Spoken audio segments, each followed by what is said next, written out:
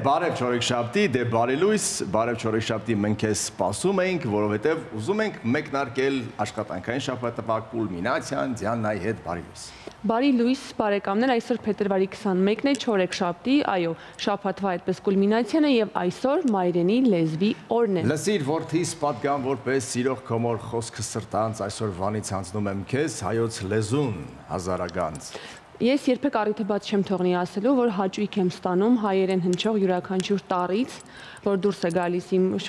բերանից եւ շուրթերից, այնպես որ շնորհակալ եմ, որ մենք ունենք հայերենը որպես մեր մայրենի։ Հայերենն էլ կա, հայերենն էլ, նայած հայերեն, թե չէ մարդիկան հայերեն են խոսում, լշած աչքերով նայում ես, հայերեն էր թե հայերեն չէ։ Այո, քանի քանզի հայերենը հեշտ բան չէ եւ թթութան չէ, ամեն մարդու բան չէ, բայց եթե շատ խոսեք, աշխատեք սխալներ չանել լեզվում, հաստատ դուք էլ հաճույք կստանաք։ Եվ 99 թվականին 1999 թվականին ՅՈՒՆԵՍԿՕ-ն փետրվարի 21-ը հռչակել է մայրենի լեզվի միջազգային օր, այսինքն ոչ թե հայերենի օրն է, այլ մայրենի։ Դե դե մենք որպես հայերենի կրողներ պիտի իհարկե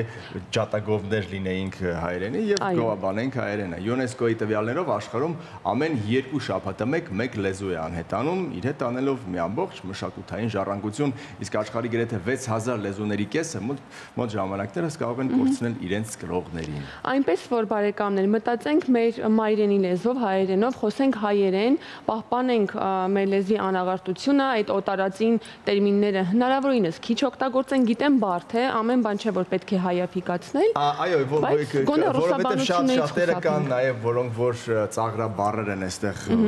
ներմուծում, ասելով որ այ շրիշակի ճիշտը այսպեսին պիտի լինի, այնպեսին պիտի արևա ճաճանչա փայլատակություն բառեր են բերում, բայց չիմանալով, այո, չիմանալով իհարկե բուն նյութը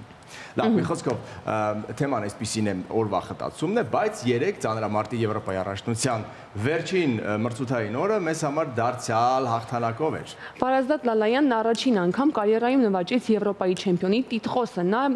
երկամարտի 455 կիլոգրամ արդյունքով հռչակվեց Եվրոպայի չեմպիոն։ Այս քաշային կարգում Հայաստանի մյուս ներկայացուցիչ Սիմոն Մարտիրոսյանը երկամարտի 437 կիլոգրամ արդյունքով արծաթե մեդալակիրն է ծանրամարտի տղամարդկանց թիմը Եվրոպայի առաջնության մեդալային հաշվարկում երկրորդն է։ Ահա այսպիսի դրական էմոցիաներով հիմա ես առաջարկում եմ մենք սրճենք միասին, քանի որ դրանից հետո խոսելու ենք քաղցրից եւ իհարկե հյուրընկալելու ենք չեմպիոնի մեծ տաղավարում։ Ես շատ ողջավորված եմ, հատկապես այն օրերը, երբ մենք տաղավարում ունենք չեմպիոն, առանձնակի ողջավորություն է ինձ մոտ։ Չեմպիոն, մարդ որ միջև մի րոպեում կարողանում է հրաշքներ գործել ոչ միայն իր համար։ Այս մասին կխոսենք։ Ես առաջարկում եմ լցնել քեզ կապուչինո։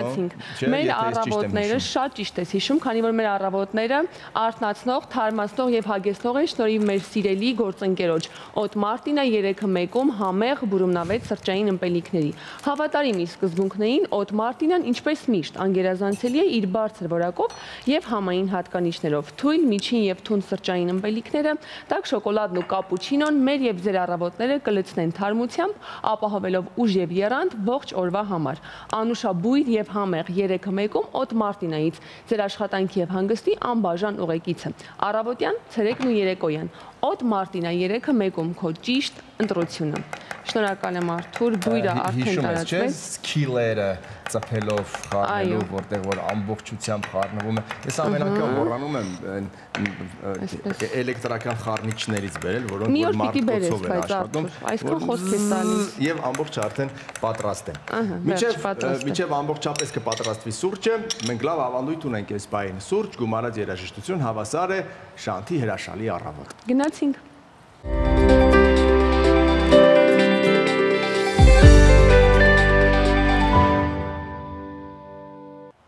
Պսիայի այս աղջիկն էլ մեծացավ երբ հետո առանձին իր կյանքով կապի, այլևս կապ չի ունենա Սիայի հետ։ Կան եղանակին, որ թվում է թե առանձին կյանքով են ինձ ապրում։ Այսօր հանրապետությունում սպասվում է առանց տեղումների եղանակ, օդի ջերմաստիճան նեապես չի փոխվի, իսկ Երևանում եւս սպասվում է առանց տեղումների եղանակ։ Այսօր ցերեկը 13 աստիճան տաքություն է սպասվում, 13 աստիճան է, բայց զգացողությամբ լրիվ -13-ի է։ Տեսեք, սառնոտ է, այո։ Ստեփանցմինդալարց ավտոճանապարհը բաց է բարեկամներ բոլոր տեսակի տրանսպորտային միջոցների համար, բայց ամեն դեպքում դեռ ձմեռ օրացույցում չես իմանա ինչ կլինի, այնպես որ ձմեռային անվադողերը այստեղ կարևոր են։ Բացի դա մարտն է արժևում, իսկ մենք գիտենք, որ մարտն հայտնի է իր ծայրահեղ այո բնավորությամբ, այնպես որ զգուշ լինենք։ Ինչ անենք, գնանք տեսնենք որտեղ ինչ եղանակ է սպասվում։ Գնանք։ Համեցեք։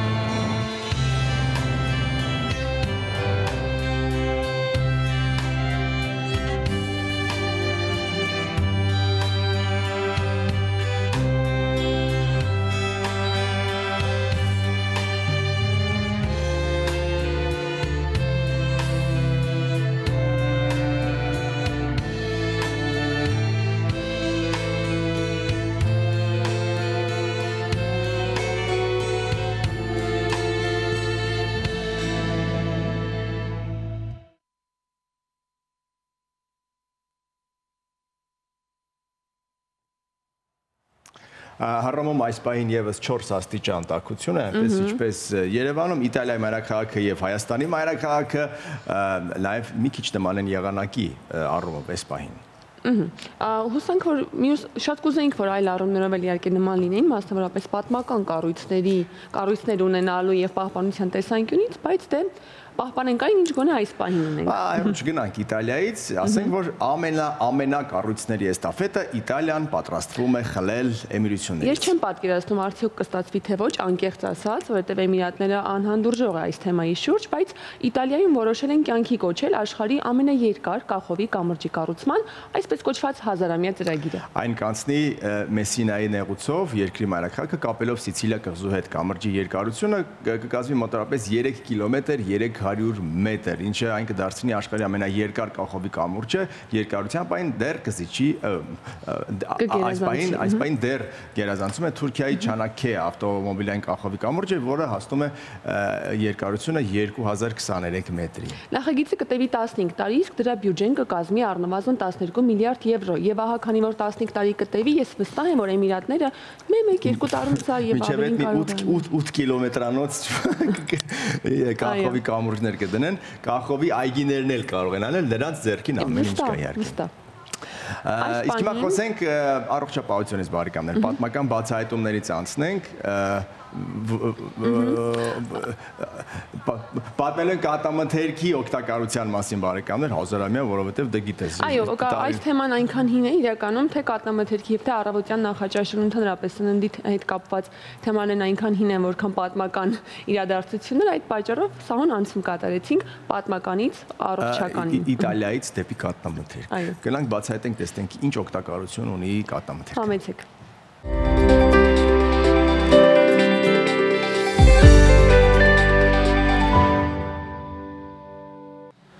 Դե սիրելիներ, այժմ ներկայացնենք մեր նոր հովանավորին,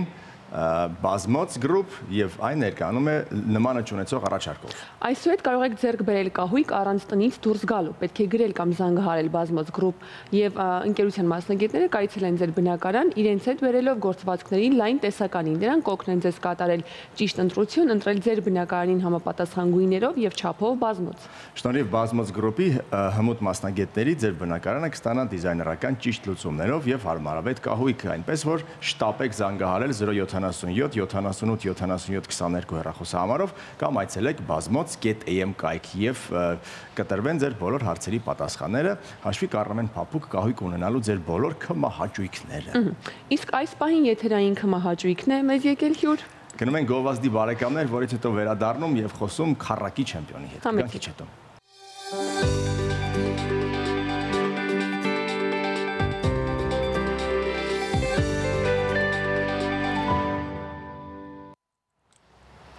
Վերադարձանք բարեկամներ եւ 52 վայրկյանում 10-ով 0 Եվրոպայի նշամարտի առաջնությունում Արսեն Հարությունյանի վերջին մրցույթը ռեկորդային էր։ Արսենը այսպեսով դարձավ Եվրոպայի քառակի չեմպիոն, պատրաստվելով Փարիզ 2024-ին օգոստոսին եւ Արսենը հիմա մեր տաղավարում է եւ ակամայից հիշում ենք այն վիդեոն, որ հաղթանակից հետո արդեն եկավ էկրանների մոտ 1 2 3 4 եւ այս ամենից բացի ամենատպավորիչը արյունն էր բերանի մեջ եւ տպավորությունը ոնց որ կրծել էր չորրորդը այնց ատամներով ֆայր էր մեջ դե ինչ արյուն էր արցը նախ շնորհավորում եմ մեծ շնորհակալություն ենք հայտնում հույզերի համար մեծ շնորհակալություն արդյունքների համար եւ վերջապես շնորհավորում ենք քառակի չեմպիոն լինելու կապակցությամբ շնորհակալ եմ շատ շատ լավ է ճիշտ ասած տրամադրվել եզրափակիչ գոտե մարտին չեմ նկատել թե ոնց են վնասել որ ոնց է արյունը եկել Կոտեմարտից հետո նոր հասկացա որ արյունը եկել եւ այդտեղ բոլոր նկարների մեջ, վիդեոների մեջ կանգնած է տպավորություն ոնց որ ինչ-որ մեկին կերել եւ եկել ասել զգուշ եղեք։ Բայց այս ամեն ինչից բացի եկեք սկսենք ամենասկզբից, որովհետեւ երբ էր երկու ամիս առաջ էր Արսենը մեր տաղավարում, պատմում էր թե ինչպես պիտի աման օրը նշի, ինչ կարևոր նախաձեռնություն կա եւ որ եկեղեցի պիտի գնա խաչքավոր պիտի լինի։ Կարծում եմ այս ամենը պատահականություն չէր Արսեն։ Հա, հաստատ պատահականություն չէր։ Ես այս տարի Սուրբ Գևորգ եկեղեցու խաչքավորն եմ ես որ բարձրացա խորան անկեղծ այնպիսի զգացողություն ունեի ոնց որ գերբնական ուժ մտած լիներ մեջս ու ես վստահ եմ որ 2024 թվականը շատ լավ տարի է լինելու ինձ համար երբ չեմպիոնն է ասում իր բերանով, նշանակում է այո որ ներքին համոզմունք, տրամադրվածություն կա այս ամեն ինչին եւ գոտեմարտը տեսնելով 52 վայրկյանում 10-ով 0։ Արսեն մենք գիտենք որ հեշտ չէ եզրափակիչ հատկապես մրցումների ժամանակ այս արագ հաղթել կամ առհասարակ հաղթել ելույթ մնաց 52 վայրկյանում։ Ինչպես տրվեց, պատկերացնում եք, չէիք պատկերացնում։ Ճիշտ ասած, ես բոլոր գոտեմարտերս փորձում եմ շատ միավորներով հաղթեմ ասեմ որտեղից է եկել որ ես կարողացա այս Եվրոպայի առաջնությանը բոլորին 10-0 հաշվով հաղթել ես գերմանական ակումբներում եմ մասնակցում այնտե 11 գոտեմարտ եմ ունեցել ու ամեն շաբաթ օրը մասնակցում էի համ հոգեբանորեն էի պատրաստ համ էլ այնտեղ եթե մրցակցին ուզում ես հաղթես, պետքա 15-0 հաղթես, որ գոտե մարտը ավարտվի։ որ առանց ժամանակ է։ 6 րոպե է էլի ժամանակը, բայց իմ դիմաց ուրիշ խնդիր դրած ես պետքա բոլոր մրցակիցներից փորձեի 15-0 հաղթեի, որ իմ թմակիցներին ավելի շատ միավորներ գնար ու կարողանայինք տեղափոխվեինք եզրափակիչ։ mm -hmm ես 11 գոտեմ հարթ եմ ունեցել ու համայր բոլոր գոտեմ հարթները 15 զրո եմ հաղթել։ Ահա, այսինքն սա սпасելի է։ Այո, այստեղ ոնց որ պատրաստ էի արդեն, որ արդեն շատ էի գոտեմ արդեն շատ հնարքներ էի արել, արդեն 10 զրոն ավելի հեշտ է լինում։ Իհարկե սպորտային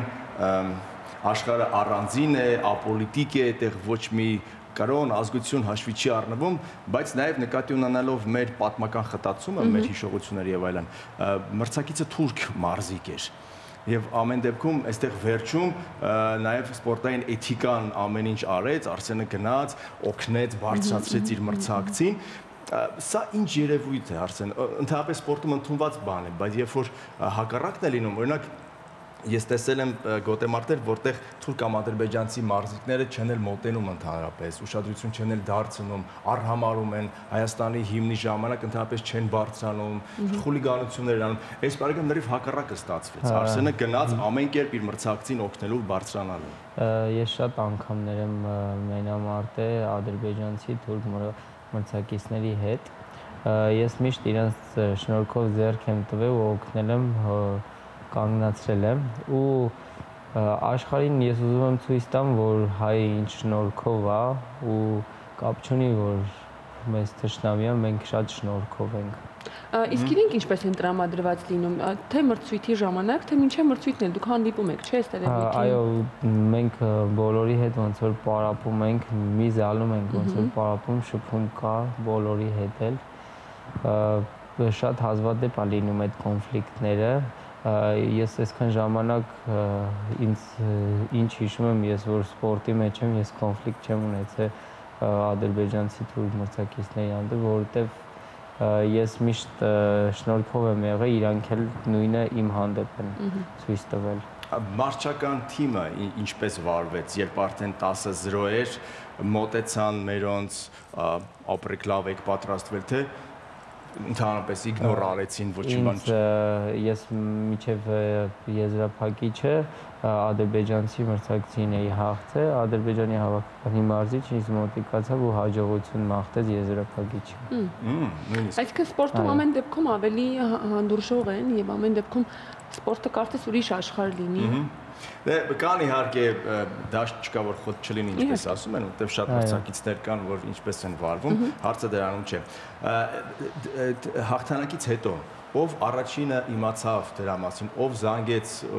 կամած կամած գանք դեպի ընտանիք, գանք դեպի այն համով բալիկը, որ առաջինը անընդհատ մոտիվացիա է տալիս արցենին։ Առաջինը կնոջս հետ եմ խոսացել ու ուզեցել եմ Մարիային շուտ տեսնել։ Վիդեո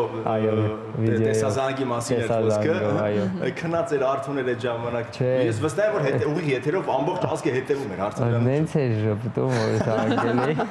Ոնց որ հասկանար որ հայրը հաղթել է։ Ինչ է նշանակում ոնց որ հասկանար։ Իհարկե հասկանում է։ Ինչի մասին է խոսքը։ Փոքր բայց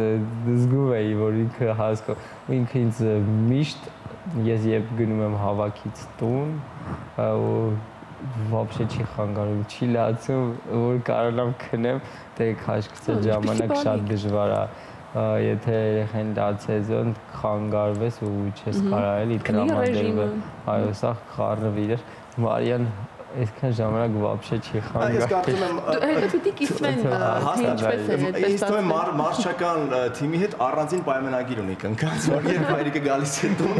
հանկարծ որևէ կերպ չխանգարի նրա նրա հանգստին։ Հաղթանակները տրվում են դժվարությամբ, հաղթանակները տրվում են շատ ժամանակ տրավմաներով, տրվում են գեր-ճիգերով, որը որ հետո հետևանքներ է բերում։ 10-ով 0-ից հետո ինչպիսին է Արսենը, արդեն կա ինչ որ վնասվածքներ կան, Աստված միանացե, թե ամբողջ ամբողջապես պատրաստ ենք օգոստոսին։ Ես ունեմ ուսի վնասվածք, այդ արդեն 4 տարի է։ Ահա։ Ես ամեն 6 ամիսը մեկ մեկնում եմ Սոջի վերականգնողական կենտրոն ու բուժում եմ ուսից վնասվածքը, որ չցավա կարողանամ գամ մարզումները շարունակել։ Հիմա զգացնել տալիս է վնասվածքը, իսկ 10-ով 0-ի ժամանակ զգացնել տալիս է, հաշվի չէին կառնում։ Որ գորգ եմ մտնում, բոլորը որտեղս ուզում եմ ցավա կանցնի։ Որտեղ որ բարձեցել եմ գորգ, ուրեմն պետքա միջև վերջի վարքյան պայքարեմ ու հաղթեմ։ Իսկ հիմա ինչպիսին է ռեժիմը։ Հաղթանակից հետո վերադարձել եք ավելի շատ դեպի հանգստանանք եւ վերականգնվեք, բայց մարզումներ կան։ Ոչ, 10 օր հանգստանալու եմ, թույլ եմ տալու ինձ հա, ամեն ինչ։ Այո, ու հետո պատրաստվելու եմ օլիմպիական խաղերին, արդեն ավելի խիստ ռեժիմով, պետք է համ սնունդիս հետևեմ, համ քնիս, ամեն ինչից հա, պետք է հետևեմ, որ 5-6 ամիս շարունակ շատ լավ պատրաստվեմ, որ էլի կարողանամ գամ իմ ամենալավ մարզավիճակում։ Կանք էլի 52 վայրկյաններում կա արդյոք մտքում մի որևէ բիո ժամացույց, որ քեզ ասում է մնաց այսքան, անկախ նրանից երևում է թվատախտակը թե ոչ։ Ներքին բիո ռիթմ կա, այդ 52 վայրկյանը Արսենը գիտեր, որ 50 վայրկյանն է արդեն մնաց այսքան չգիտեմ։ Մենք այնքան ենք գոտե մարտում, մենք որ հիմա ժամանակին է չնայենք, մենք հագորգի մեջ հասկանում ենք թե ինչքան է Այո, օրինակ պարապմունքների ժամանակ, որ մարզիչները ժամանակ են պահում, որ մենք գոտե մարտենք, եթե 6 րոպեից 2 վայրկյան անցնի, ես մի անգամից զգում եմ ու ասում եմ, էլի ամեն անգամ զգում եմ, որ մոռանում ես ուրիշ տան, ես ասում եմ, ասում եմ երկու վայրկյան է անցել, ոնց ես զգում, այնքան են գոտ եմ արտե, արդեն բոլոր ժամանակը արդեն գորգի մեջ զգում եմ։ Մի լավ առաջարկ կա, առաջարկում ենք այս բային տեսնել 52 վայրկյանանոց գոտ եմ արտե, իմ ջալած որտեղ կնկատեք նաև արյունոտ բերանը ամենավերջում, որը որ ամենաշատն էր տպավորել։ Ես առաջարկում եւ դիտենք եւ նաև մեկտաբանենք թե ինչ հնարքներ էր անում եւ նաև ստակել էր։ Եվ հետաքրքիր է հետևի կադրում նստած տխուր չէ որ ամեն դեպքում եզրափակիչ է դուրս դե եկել ուրեմն պիտի որակներ ունեն սա նաև լավ հոգեբանական ազդակ է խթան է այլ ավելի լավ պատրաստվելու օլիմպիական խաղերին ինչ ունենք այստեղ արս ես կարող էի 61 քաշային կարգում մասնակցեի բայց ես ուզեցի հենց 57 քաշային կարգում մասնակցեմ Եվրոպայի առաջնությունը ես ճիշտ է շատ-շատ էի տանջվելու որ 57-ում մասնակցեի բայց ուզում էի 57-ում որ սաղին ցույց տայի, ես պատրաստ եմ։ Ես 57 քաշային կարգում մենակ աշխարհի առաջնություն եմ մասնակցել ու ռեյտինգ եմ ունեցել օլիմպիական խաղեր։ Ես վերևի քաշից եմ ոնց որ իջնում մտե։ Կան մրցակիցներ, որ մտածում են հեսա քաշակցելու էլ չի կարանալու կպնի։ Հիմա այդ կարծրատիպը կոտրվա, հասկացամ, որ ավելի լավ է 57 քաշային կարգում։ Հիմա իմ մեջ էլ ավելի մեծ վստահություն կա, որ ես ավելի լավ կարող եմ մասնակցել այդ վստահությունը արդեն ոչ միայն ձեզ մեջ, ձեզ մոտ, այլ նաև բոլորիս մոտ կա եւ ամեն մեկս մեր ոլորտի հանդեպ ենք այս մոտիվացիան վերցրել, այսինքն տեսնելով Արսենին եւ մեր մյուս տղաներին, որոնք այս ամիս այսպես չեմպիոնական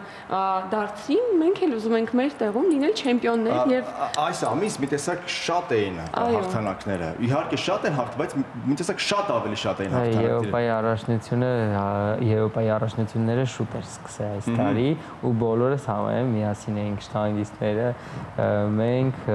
միասին էինք նույն օրերին էինք մասնակցում ատլետիկան էլի թե չեմ սխալվում աշխարհի գավաթի առաջնությունը այո հետաքրքիր է փոխանցվում է ոգևորությունը այո այսինքն մեկս մյուսով ոգևորվում ենք ու ավելի եթե դու հաղթել ես ես եմ չէ ընդհակառակը ես իմ 4-ը վերցեցի գնա քո առաջինը վերցրու գնա քո երրորդը վերցրու ինչալից մյուս տղաները ինչպես է որտեղ են լինում չգիտեմ դահլիճում նստած ձեզ ոգևորում էին հանդիպում էիք իրար ովքեր որ արդեն գոտե մարտել ավարտել էին թռել էին թե սпасել են միջի միջև որ ինչ արարություններ են բոլորը այնտեղ էին մենք մեր թիմում մի լավ մտնոլորտ ունենք որ մեկս մյուսի հաղթանակով ու պարտությունով ապրում ենք կապ չունի թե իմ ընկերը պարտվել է ինքը իմ հաղթանակով իր պարտությունը կարողանում է հաղթահարի այո ու միջև վերջի վարկյանը միջև գոլ մտնելը կողքս են լինում օգնում են այդ զգացողությունը ուրիշ զգացողություն է որ ամենադժվար պահին սա քո թիմը քո կողքն է այդ ուժ է տալի շատ ուժ է տալիս ես ուղղակի ուզենամ ստեղից իմ թմակիցներին շնորհակալություն հայտնեմ որ միշտ օգնում են մանավանդ քաշքցելու ժամանակ որ ուղղակի ի վիճակի չես լինում քայլելու իրանք միշտ կողդ են լինում, չեն թողում մի վարքյան, որ մենակ մնաս, ինչ որ մի բանի կարիք ունենաս։ Ես հիշում եմ վերջի օրը, որ 3 կիլոգրամ ավել էի, մրցաշարը ավարտվեց, եզրափակիչ դուրս եկա, պետքա առավոտը ժամը 8-ին ես կշռվեի էլի 57 կիլոգրամ, բայց ես 60 կիլոգրամ էի, 3 կիլո քաշս բարձացել էր։ Ես այդ 3 կիլո միջև առավոտը պետքա գցեի ու ժետի շատ դժվար էր ու ես հիշում եմ իմ թիմակիցները ոնց էին օգնում այդ պահին ինձ կողքիցս տեղ չեն իրանք ճիշտ է մարդ կար պարտվել էր իր համար հոգեբանորը շատ ծանր էր բայց ինքը այդ ամեն ինչը դրել էր մի կողմ ու միջև վերջ իմ կողմներ օգնում 10-12 ժամում 3 կիլոնի հարել Սա աղջիկները հիմա շատերը նայում, ասում դե դե ձևերը գիտեք մեզ էլ ասեք, մենք անընդհատ տարապում ենք շատ դժվար է։ Արսեն։ Եթե կարողանում եք ուտեք, ուրեմն կերեք։ դե Միշտ ինձ ասում են դի արեք, ասում Չէ, ասում եթե կարաս ջուր խմես, մի բաժակ խմի, չի դի։ Պետք է արկելված ջուրել չէր, չէր կարելի։ Դե միջև առավոտ պետքա ոչ մի բան չլիներ ու պարապեի։ Բայց քաշը վերականգնվեց 57-ը գրանցվեց, հետո ունեցավ 2 ժամ հետո արդեն քանի կիլոյի մարսեն, հա մոտ 63 63 այո իսկ որքան ժամանակ ունեք մինչև օգոստոս բավական չի չեք 10 օր 10 օր ինչ ինչ ուզում անում այո այո ինչ ուզում այդ 10 օրից հետո արդեն ռեժիմը պետք է լինի օլիմպիական 57-ով ենք մասնակցում Ինչ է մնում ասելու, եթե ոչ ես նաև ուզում եմ հիշել մեր վերջ նախավերջին զրույցը, որտեղ որ վստահաբար ասացինք մենք ելի ենք իրար հետ հանդիպելու եւ չեմպիոն չեմպիոն լինելու է եւ այդպես էլ եղավ, այնպես որ լիահույս ենք նորից կրկնենք, ավանդույթը այո, հանդիպելու ենք նորից հանդիպելու ենք ապագա օլիմպիական չեմպիոն Արսեն Հարությունյանին ոչ թե քառակի չեմպիոնի օրը, օլիմպիական չեմպիոն, որտեղ օլիմպիականը մի տեսակ ուրիշ բարձրություն է, ուրիշ թռիչք է չէ, չի նսեմացնում մնացած չեմպիոնությունները, բայց դե օլիմպիական չեմպիոնը յուրաքանչյուր մարզիկի կարծում եմ կարևոր ձեռքբերումներից մեկն է։ Արսեն, ոչ միայն ես, ողջ հայ ազգի անունից շնորհակալություն ենք հայտնում որ ամենալավ ժամանակներում, ամենաբարձ ժամանակներում դուք կաք ձեր տեղում եւ ձեր գործը անում եք 101%-ով լավ։ Եվ դրա համար դրանից մենք հուզվում ենք, դրանից մենք թեմավորվում ենք, ողջևորվում ենք եւ նոր մոտիվացիաներ ենք վերցնում առաջ շարժվելու համար։ Ինչպես ենք որ մեր տաղավարում էր Եվրոպայի քառակի չեմպիոն եւ ապակա օլիմպիական չեմպիոն Արսեն Հարությունյանը։ Շատ լավ է հնչում։ Արսեն Հարությունյանը օլիմպիական չեմպիոն։ Շնորհակալություն։ Շնորհակալ եմ շատ։ Գնանք գովազդի բարեկամներ, հետո կրկին վերադառնանք եւ ասենք բարի լույս։ Գնացինք։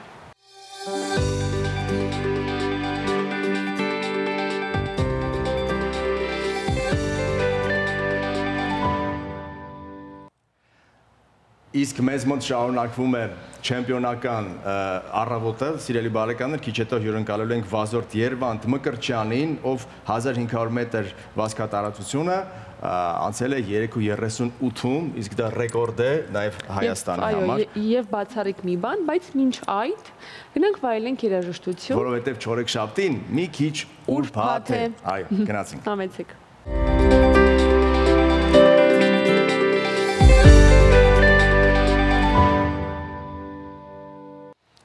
Իարխուշտա ապարում էին ամեն անգամ, երբ գնում էին մենամարտին, իսկ մեր տեղավորում է մարդ, ով ըստ էության Հայաստանի համար պատմություն է կերտում եւ իր մենամարտը փայլունս է իրականացնել։ Վազորդ Երևան Մկրչյանը ոսկե մեդալ է նվաճել Ստամբուլում ընթացող Բալկանյան երկրների ձմեռային առաջնությունում։ Գյումրեցի մարզիչը հաղթող է ճանաչվել, մարզիկը ներողություն հաղթող է ճանաչվել 1500 մետր վազքատարածությունում։ Հայաստանի ատլետիկայի հավաքականը մրցավայր էր մեկնել Գրիգոր Բարսեղյանի եւ Արսեն Պետրոսյանի գլխավորությամբ։ Երևանը նաև Հայաստանի ռեկորդ է սահմանել այս մարզաձևում, թերևս լավագույն արդյունքը ցուցաբերել է մինչև հիմա։ Մեր տաղավարում են Երվանդը եւ Մարտիչը Գրիգոր Բարսեղյանը։ Բարև ձեզ, շնորհավորում եմ։ Եվ հետաքրքիր է, որ հիմա որ ասում ենք նոր մարտիկ իմանում են մենք վազորդներ էլ ունենք, որտեվ հիմնական մեր ոսկիները լրիվ ուրիշ նժարի վրա են։ Այս պարագայում երբ թե պարոն Բարսեղյան, ձեզ հարցնենք վազորդների մեջ ատլետիկայում ինչ բացառիկ է Երևանը, հա? Նրանից առաջում վազորդներ ունենք, բայց նման կարգի վազորդներ բացառիկ է Երևանի նվաճումները վերջի տարիների համար առասարակ հայրենական սպորտում հայ վազորդները առանձնագի ձերբերումներ չունեն։ Շատ համեստ է մեր նվաճումները 70-ականներին ենք դեռ խորտային տարիների ունեցել աշկիգնող վազորդ Արտաշես Միկոյանը, ով մասնագիտացել է երկարտարության վազքերում եւ խոչընդոտավազքում է ցույց տվել բավականին բարձր արդյունք։ Դրանից հետո տեսեք եկել ենք անկախ Հայաստան, անկախ Հայաստանի օրոքել առանձնագի մատնանշվող ոչ մի ցերկերում չենք ունեցել վազորդներից սպորտի վարպետներով բավարարվել ենք ժամանակ առ ժամանակ, իսկ միջազգային կարգի սպորտի վարպետ սա բոլոր ժամանակների համար բացառիկ դեպք է հայ վազորդի համար։ Իհարկե, զարմանալի է արդասամանում Հայաստանից նման կարգի վազորդ անհավատալու է, հաշվի առնելով մեր երկրի ավանդույթները, մեր պայմանները, ինչու ոչ, Երևանը բացառություն եմ եւ մենք լավ օրինակ եմ ծառայում, հուսով եմ, որ կարելի է նաեւ Հայաստանից ոչ միայն լավ ցանորոտներ եւ բիշներ, բնսկամարտիրը նաեւ միջազգային ասպարեզում պատվով հանդես գալացող վազորդ։ Մեդալի բացումը այլևս դրված է։ Երևանը վերցրել է։ Մեդալի ուրեմն ինչպես նշեցիք Բալկանյան առաջնությունում այո դարձավ չեմպիոն, նա բազմա բազմից է եղել չեմպիոն Բալկանյան առաջնությունում եւ մեդալակագիր դա շատ բարձր հարգի մրցումներ է 21 երկիր է մասնակցում այդ թվում նաեւ Հայաստանը բայց այս բացառիկ արդյունքը նա ցույց տվեց Բելգրադի միջազգային մրցաշարում որտեղ զբաղեցրել է երկրորդ տեղը նա մրցակիցները այդ պահին նույնիսկ վարկանիշով ավելի բարձր էին քան Երևանը բայց Երևանին հաջողվեց մեզ հաջողվեց ցույց տալ այդպիսի բացառիկ արդյունք եւ Երևանը գրանցեց 3 րոպե 38 վայրկյան 1200 տական։ Եկեք այո, եկեք նաև Երևանից հարցնենք, որտեղ երբ որ մենք վասկը նայում ենք առհասարակ, այդտեղ հիմնական վազորդները սևականներ են։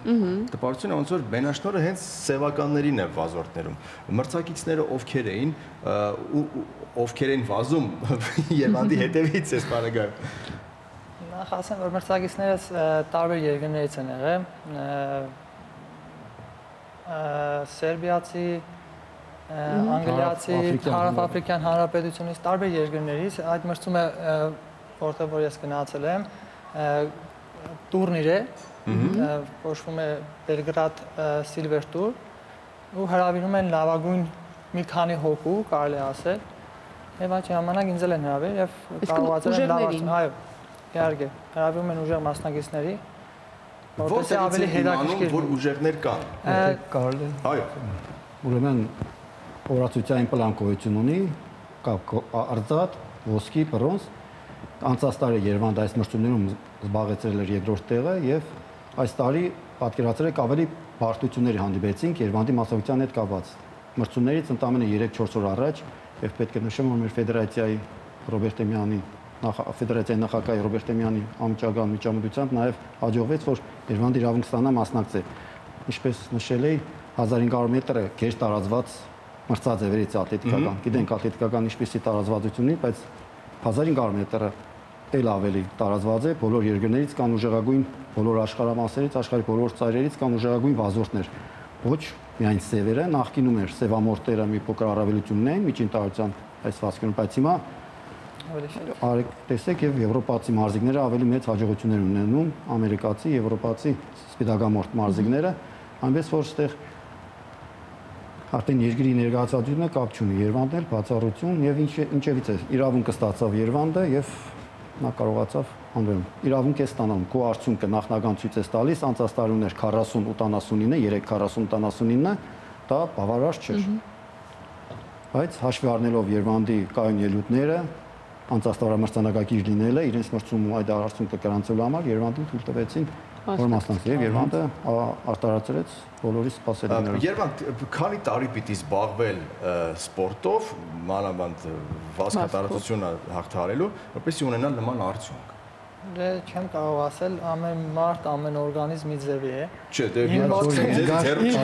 ձեր Ես ատլետիկա մարզաձևով զբաղվել եմ 17 տարեկանից, շատ ուշ սպորտսմենի համար, բայց կարողացել եմ հասնել որոշ հաջողությունների, չասեմ բարձր հաջողությունների, բայց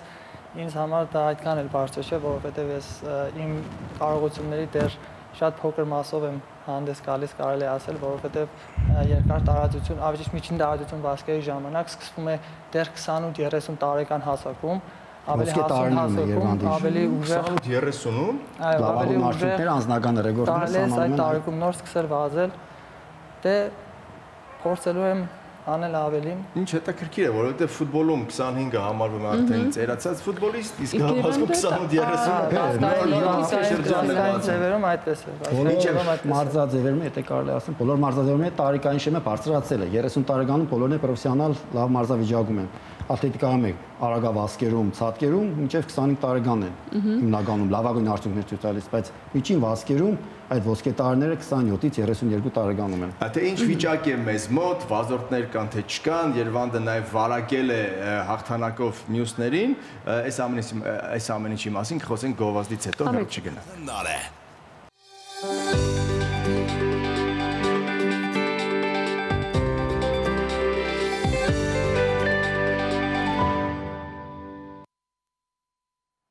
Սիրելիներ, ուզում ենք հիշեցնել, որ մեր տաղավարում է Երվանդ Մկրտչյանը, վազորդ, ով 1500 մետր վազքատարածությունը Բելգրադում հաղթարել է 3:38 վայրկյանում, որը որ հայկական Հայաստանի պատմության մեջ ռեկորդային է, եւ այստեղ է մարզիչը Գրիգոր Բարսեղյանը, զրուցում ենք ձեռքբերումներից եւ հիմա պիտի խոսենք ընդհանրապես ոլորտից։ Ինչ ոլորտը ոլորտ է Հայաստանում։ Ինչ վիճակի, ինչպիսին է հետաքրքրությունը առհասարակ եւ ինչ պայմաններ ունենք մարզվելու համար հետաքրքրությունը կարող ենք ասել, որ բավականին մեծ է, ճիշտ է, ոչ այնքան, ինչքան ֆուտբոլը, ըմբշամարտը կամ ծանրամարտը մասնագետների, զբաղվողների պագաշ չունենք, մենք ավելի շատ ունենք խնդիր պայմանների։ Մեր պայմանները ցավոք սրտի դեռ 21-րդ տարում ցավալի է որ խոսում ենք պայմանների բացակայությունից, բայց փաստը մնում է փաստ։ Թե Երևանում, թե Գյումրիում։ Սկսած Երևանից, սկսած Երևանում, քաղաքական մայր Երևանում ճունենք ստանդարտ վազքուղիներ, ռեդինը ծածկույտով։ Իհարկե, վերջի տարիներին նախաձեռնվեց ծրագիր կար միջազգային կառույցները ատլետիկական նվաստեցին մեր երկրի հետ համագործակցեցին եւ ծրագիրը կյանքի կոչեցին, բայց ինչ-ինչ պատճառներով Երևանի քաղաքապետարանը չկարողացավ համապատասխան մարզադաշտ եւ տարածք տրամադրել եւ այդ ծրագիրը տեղափոխվեց Արդաշատ, ինչը շատ ցավալ է։ Իհարկե ուրախ ենք, որ կյանքի կոչվեց մարզադաշտ վերջապես ունեցանք միջազգային ստանդարտների համապատասխան, բայց արդարշատուն չէ։ Երևանում պետք է լիներ, եթե ոչ Գյումրիում, Վանաձորում կամ Կաբանում, մեր հիմնական արտիկական կենտրոններում։ Երևանում մեր երկրի համար մեծ բաց թողում է, որ այս պահին չունենք արտիկական մարզադաշտ, ոչ թե 1, այլ մի 5-ը, 10-ը։ Իսկ պահանջեր կկա։ Իհարկե։ Վերջի տարիներում բոլորս ենք նկատում, որ շաշկա ատիտկական կրոսավասկերի կանոնավոր կրոսավասկեր են անցկացում վարչապետի կավատը, Երևան մարատոնը, կանոնավորմրցումն է, դա իր հեշտին հետաշություն առաջանում ազգապնակցության մեջ, նպատակ ունի առաջին հեշտին առողջ ապրելակերպի գաղափարը տարածելու, դրան մասնակցում են նաև պրոֆեսիոնալ ատլետները, վազորդները իրենց ուժերը չափում են լավ առիթը։ Իսկ մարզադաշտ Վասկուղի այդպեսին Հայաստանում այս պահին միայն արդաշադում է։ Իսկ արդաշադներ գիտենք բավականին կդրված են նույնիսկ Երևանաբնակ ատլետները այնքան էլ հեշտ չէ ամեն օր կամ օրը մեջ գնալ մարզվել կալ։ Մենք պարզապես այնտեղ կարողանում ենք պատշաճ մրցումներ կազմակերպել արդեն։ Խնդիրը པարզ է, այ դուք նշեցիք ոլորտներ, ֆուտբոլը, ըմշամարտը կամ ծանրամարտը, որտեղ փոքրի շատ է, այսպես ասած, գումարներ կան ֆուտբոլում մանավանդ ամենաշատը եթե ֆուտբոլում է այս բանը միջոցներում է դե ըմբշամարտում ծանրամարտում Երևանին եկեք հարցնենք միայն վազելով կարելի է գլուխը պահել իհարկե ոչ իհարկե դեռ ոչ երևի, թե դեռը պիտի ոչ։ Դեռը չեմ կարող ասել, բայց հիմա հիմիկա համար ասեմ, որ իհարկե ոչ։ Հայաստանում իհարկե Հայաստանում փոքր ավելի բարձր կարող է ասել, շատ քիչ է, ատլետիկայի համար նախատեսված բայց նկատի ունենալով այս ձեռքբերումը, նաև ռեկորդը Հայաստանի համար, սա ինչ որ մի խթան չպիտի լինի, որպեսի ոլորտին ուշադրություն դարձվի։ Այ որ տեսեք, եթե լինեին օրինակ ձեր ասած այդ ռետինե վասկուղիները Երևանի պես երևի շատ մարդիկներ կլինեին։ Երգիրը մեր երգիրն է, իր ռազմավարությունը կարծում եմ հետեւաբար այսպեսին, որտեղից որ մեդալները շատ է, ավելի մեծ ուշադրություն եւ բյուջեն։ Դա ինչ որ տրամաբանական է, բայց կան մարզաձևեր, օրինակ ատլետիկան, մենք չենք կարող իհարկե ծանրամարտի մշակ մարդի չափ մեդալներ բերել, բայց ատլետիկայի տարածվածությունը երկրում զարգացված լինելը դա առաջնային է։ Եվ պոտենցիալ կա։ Համարձած է, որ որի զարգացված լինելը pedagogan հոգացությունը պարտադիր պետք է լինի։ Դրանից մեկ դրանից մեկը ատլետիկան է։ Բիերմանը նշեց, որ 17 տարեկանից է սկսել զբաղվել։ 16, 16, 17, մինչև 16-ը ինչ էր անում Երևանը եւ ինչպես կարելի է 16-ում գալ սպորտ եւ ունենալ նման հաջողություն։ Կամ գուցե եղել է սպորտային օրինակ դպրոցում վազքից լավ է եղել։ Իհարկե, ֆիզիկապես շատ կոփած եմ եղել։ Զբաղվել եմ նախքան այդ պարային պարով, հետո մի տարի զբաղվել եմ ըմշամարտով։ Չեմ գտել ինձ հեշտ մտեղեմ եւ ինձ առաջարկել են իմ հեսան, կարելի ասել, իմ եղբայրը եւ Այդ ժամանակ ինքը կզբաղվեր ատլետիկայով, Հայաստանի չեմպիոն էր։ Առաջարկեց սա ըստանք ատլետիկա ու ես էլ միշտ տելևիզորով նայել եմ, հեռուստացույցով տեսել եմ ինչ հետարքիր ձևեր կամ բան ու գնացել եմ ատլետիկա ու շատ եմ սիրել։ Սիրելով սկսել եմ պարաբել։ Եվ ստացվել է։ Իհարկե։ Որոշ չափով ստացվել է, կարելի ասել։ Իսկ վազքից եւ սպորտային կյանքից դուրս, ինչով եք զբաղվում, ինչ հետաքրքրություններ կան կամ ապագա պլաններից, արդյոք կարող եք մեզ հետ կիսվել դեռ չեմ կարող ասել ինչ պլաններ կունենամ ապագայում դե հիմա դեռ սպորտի մեջ եմ Թերևս այո, այո։ Ընտրում ենք հարցնացում։ Միակ նպատակս օլիմպիական վարկանիշ ստանալն է։ Այս տարի 2024 թվականին օլիմպիական տարի է Փարիզում։ Դեռ մտածում եմ միայն դրա մասին, իսկ հետագայում չեմ կարող ասել։ Դեռ փնտրտուքների մեջ եմ կարելի ասել, ինչ ինչ ինչ ընթացք ունենա իմ կյանքը իմ ապագան։ Դե հուսանք պիտի որ վասկատարածությունը ինչպես որ հաղթահարվել է ու ուժով տոկունությամբ եւ վերջում վայելել եք այդ հաղթանակը, դա էլ պիտի լինի ոչ թե ուժով եւ տոկունությամբ, այլ թող միանգամից գա ու գա։ Եթե այո, դա կարևոր է։ Եվ թող գումարները եւ ֆինանսը այնքան լինեն, որ մեր մարզիկները, ատլետները մտածեն միայն իրենց մարզումների եւ ապագա նվաճումների մասին։ Շնորհակալություն, ուզում ենք կարևոր է բոլորիս համար էլ։ Շնորհակալություն, ուզում ենք հիշեցնել, որ մեր տաղավարում է Վազորդ Երվանդ Մկրտչյանը, ով 1500 մետր վազքատարածությունը Բելգրադում անցել է 3:38-ում եւ Մարտիչ Գրիգոր Բարսեղյանը նաեւ արդյոք դոկտորով եկեք ողջունենք նաեւ Արսեն Պետրոսյանին, ով վստահ եմ որ հիմա ուղիղ եթերով հետևում է մեզ մեծ շնորհակալություն։ Շնորհակալ ենք զրույցի համար։ Իսկ հիմա բարեկամներ մենք բացենք ձեզ հետ միասին է, սիրելի մեր հյուրեր, բացենք Սիրիայի նամակները, որտեղ Երևանը շատ այսպես լայն շփտած երբ ասեցիք ինչ պլաններ ունեք։ Ինչու ոչ, նաև այստեղ կարելի է մեջ բերել այս ամենը։ Այո, այս անգամ մենք կկարդանք այն, թե ինչ է գրել Սիրիայի նամակներում Արնո Բաբաջանյանը։ Գնանք իրար հետ բացահայտելու։ Գնացինք։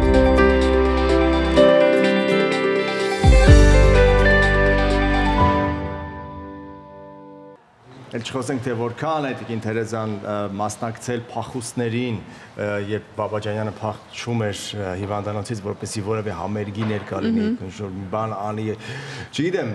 սիրո պատմությունները ամենաոգեշնչողն են, բայց երբ սիրո պատմությունները հյուսվում են սուրճի բաժակի շուրջ, այս արդեն լրիվ ուրիշ պատմություն է։ Լրիվ ուրիշ կինո է։ Մենք արդեն 1 ժամ է եթերում ենք բարեկամներ եւ իհարկե պետք է թարմանալ։ Իսկ այս հարցում մեզ միշտ օգնում են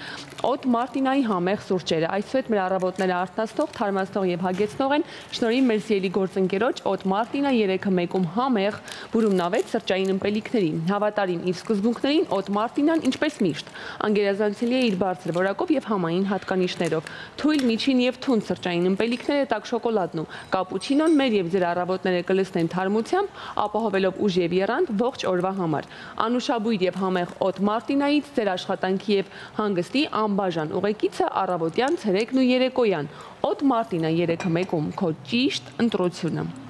Իմ ընտրությունը տաք շոկոլադն էր, այո։ Այո, տաք շոկոլադ այսօր քեզ բաժին ընկավ, ինձ 3-ը մեկումից։ Ինչպես միշտ սիրելիներ, երբ որ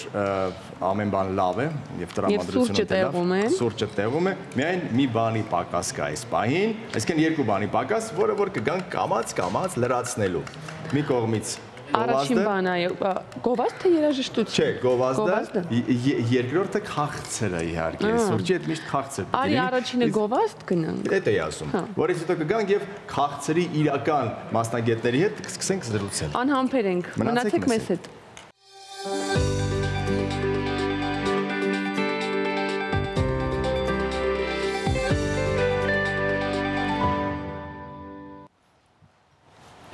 Բարեկամներ, սուրճը բաժակներում է եւ մեզ մնում է լուծել միայն քաղցրավենիքի հարցը եւ այս հարցում իհարկե լավագույն խորհուրդները կտան մեր հաջորդ հյուրերը։ Մեր տաղավարում են Իսկույի Համբարձումյանը, հրուշակագործների քաղցր ծաղիկների աշխարհի ասոցիացիայի նախագահ եւ իր գործընկերները Լուսինե Ղազարյանն ու Հերմինե Իսկանդարյանը։ Այո, եկած չեկած դրանք ինձ մեծ խնդրի առաջ են կանգնեցել, այնքան մեդալ են հետները բերել, որ ուղղակի խճճվել են բարի բուն իմաստով այս այս ամեն ինչի մեջ։ Եվ եւ եկեք այս ամեն ինչը իհարկե նկատի ունենով ամենավերջին մեդալից սկսենք Այստեղ որն է ամենավերջինը, Տիկին Իսկոյի։ Վերջինը ինձ հետ է։ Ահա։ Բարեկամներ, տեսնում եք մեդալները, այո։ Վերջինը կարող եմ հանել, սա Grand Prix-ն է, որը վերջերս ենք եկել Գերմանիայից, Շտուտգարտ քաղաքից, որտեղ տեղի ունեցավ համաշխարհային կուլինարիայի առաջնությունը։ Ես իմ թիմով դեռ խոսենք դժվարությունների մասին, եղել ենք 3 հոգով, որը որոնք տարել ենք մեր գործերը, ներկայացրել ենք 12 աշխատանք։ Ունեցել ենք մի քիչ խնդիր դեսպանատան հետ, որ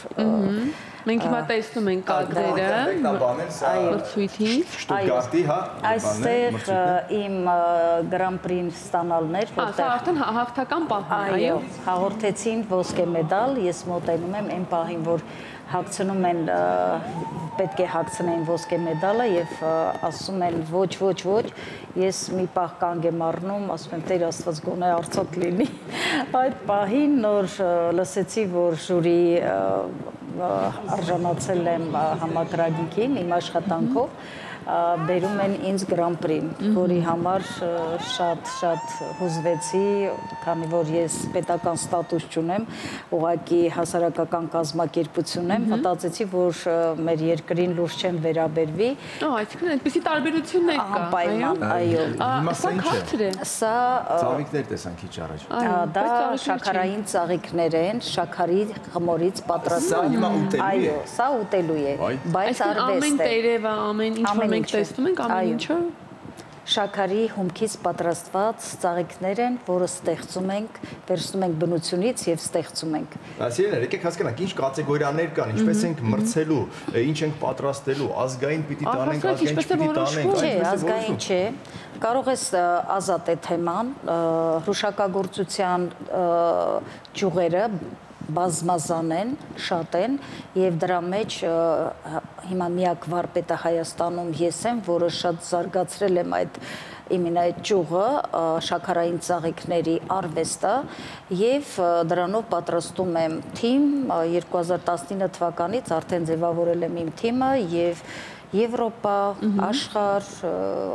օլիմպիադա եւ հաղթանակով վերադառնում։ Այսինքն նաեւ դասավանդում եք։ Անպայման։ Ես եմ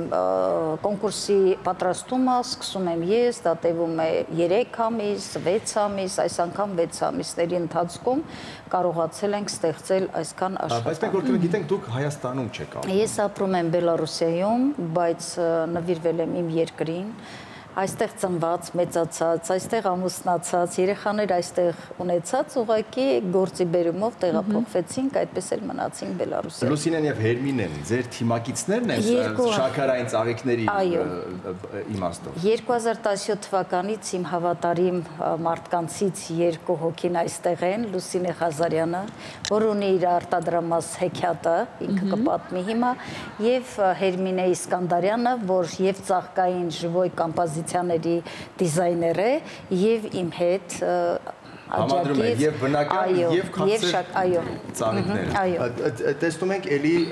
մեդալ հաղթար շտուտգարտից է էլի շտուտգարտից ենք ստացել եւ ինչ է կարել որ մեդալ եք ես ներկայացրել էի խոզոկիս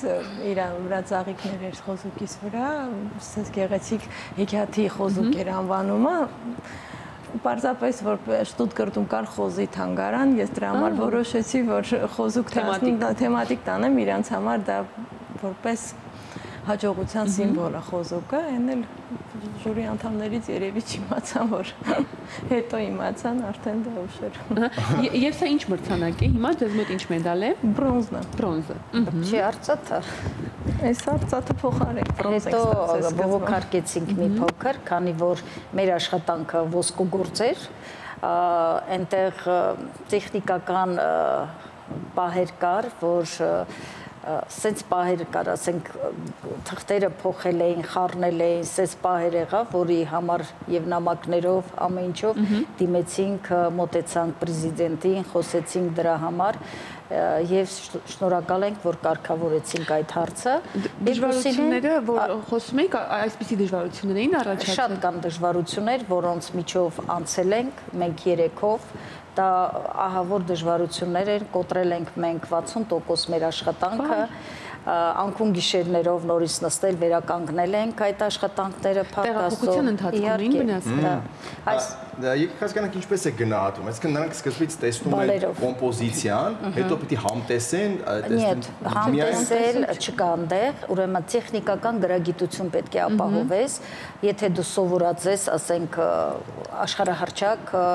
ես համարվում եմ աշխարհահռչակ շեֆ մաստեր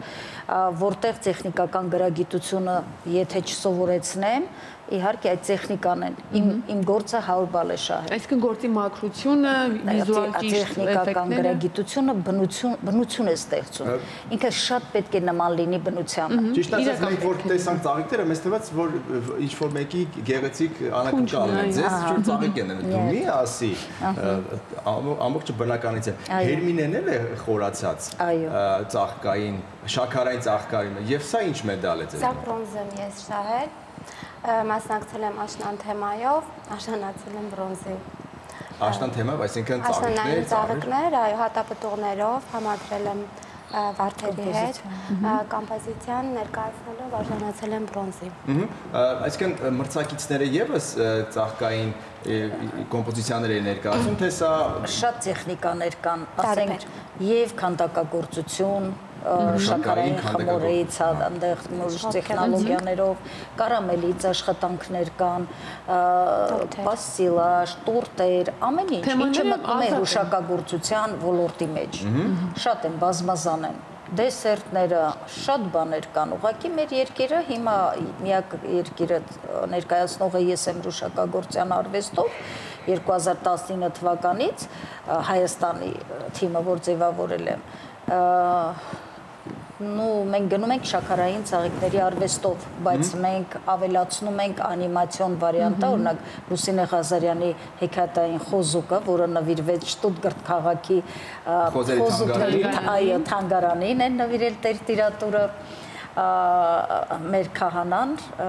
որոնք մեզ շատ օգնել են, դեռ կամրադառնանք իրենց Շտուտգարտ։ Այո, այո, առանց իրենց ոչինչ մեզ մոտ չէր ստացվի։ Հայկական համայնքը հայ համայնքը դեր կողքին։ Այո, այո, իհարկե, եկել էին մասնակցելու, դիմավորել են, օգնել են, քանի որ կես գիշերին մեր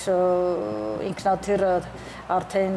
թռնում էր Նյուրնբերգ ոչ թե Շտուտգարտ, Զաբաստովկա էր այնտեղ եւ մենք թռնում ենք Նյուրնբերգ, մեզ դիմավորող չկա գաբարիտնի կրուզներով, դե ոնց պետք է մենք հասնենք, դա մեծ դժվարություններ են։ Challenge-ը challenge-ի ետևից։ Այսինքն դուք երեքով եք եղել, մեկը ձեզ հետ օգնող օգնական ոչ, ոչ մի ձևի։ Եվ 12 աշխատանք եք 12 աշխատանք անքուն գիշերների այդ ամեն ինչը պետք է տանենք մետրո, մետրոից տանենք գնացքի կայարան, ու այդ ամեն ինչը մեզ տեղակի նոր հասնենք հյուրանոց սույթի տեղ։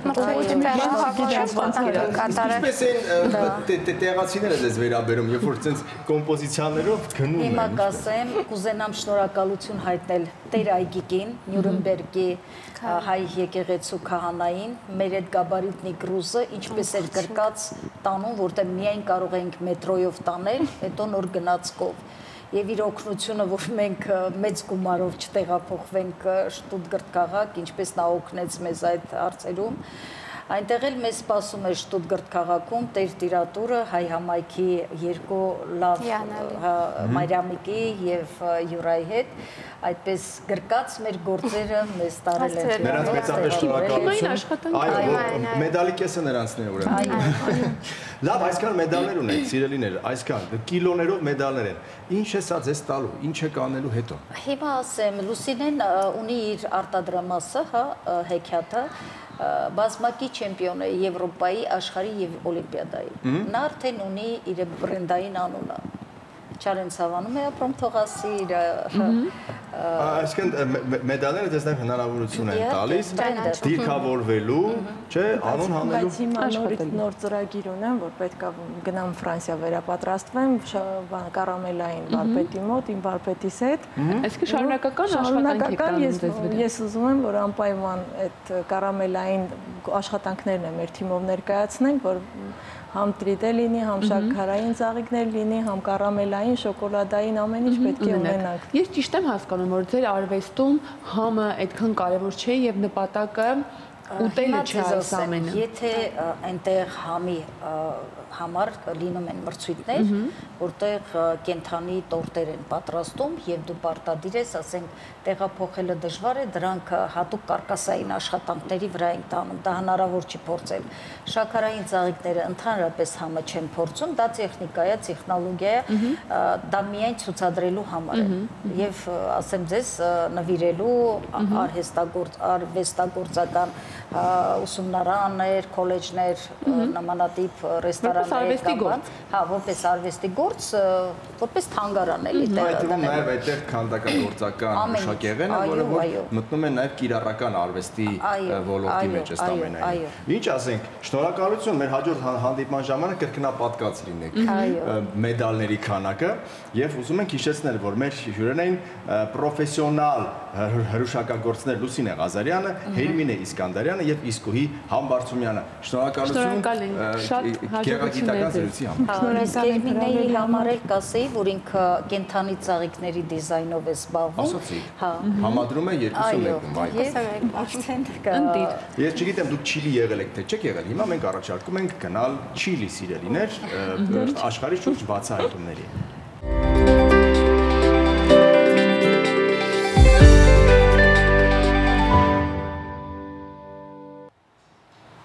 Այժմ ներկայացնենք մեր նոր հովանավորին Բազմոց գրուպ եւ այն ներկանում է նմանը ճանաչող առաջարկով. Այսուհետ կարող եք ձեռք բերել կահույք առանց տանից դուրս գալու։ Պետք է գրել կամ զանգահարել Բազմոց գրուպ ընկերությանը եւ ընկերության մասնագետները կայցելեն ձեր բնակարան իրենց հետ բերելով գործվածքների լայն տեսականին։ Նրանք կօգնեն ձեզ կատարել ճիշտ ընտրություն, ընտրել ձեր բնակարանին համապատասխան գույներով եւ չափերով Բազմոց։ Շնորհիվ Բազմոց գրուպի հմուտ մասնագետների ձեր բնակարանը կստանա դիզայներական ճիշտ լուծումներով եւ հարմարավետ կահույք, այնպես որ շտապեք զանգահարել 077 78 77 22 հեռախոսահամարով կամ այցելեք bazmots.am կայք եւ կտրվեն ձեր բոլոր հարցերի պատասխանները, հաշվի կառնում են փափուկ կահույք ունենալու ձեր բոլոր կմահաճույքները։ Իսկ այս պահին ինչ են կանում։ Այս պահին գովազդ շանցի եթերում սիրելիներ։ Այո, համեցեք։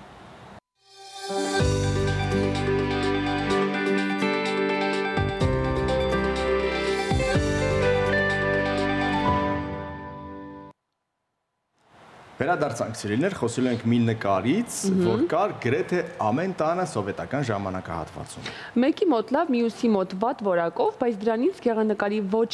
հմայքներ կորում, ոչ էլ այնտեղ թաքնված գաղտնի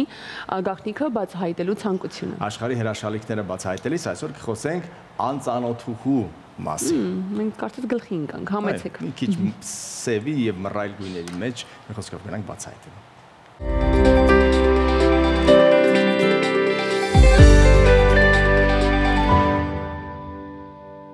անծանոթու հետ էլ ծանոթացանք,